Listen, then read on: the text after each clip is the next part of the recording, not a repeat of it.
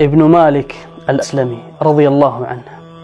زنى في عهد النبي صلى الله عليه وسلم وانتهت قصة حياة ماعز بالرجم. قتل مرجوما رضي الله عنه. انقسم الصحابة فيه إلى قسمين. من الصحابة من قال هلك ماعز أحاطت به خطيئته. ومن الصحابة من قال لا أصدق توبة من توبة ماعز.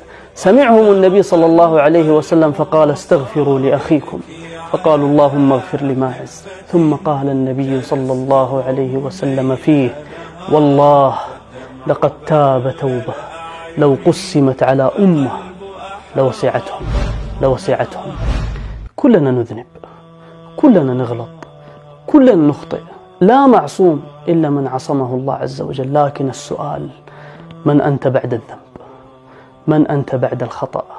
هل أنت العبد الذي إذا أذنب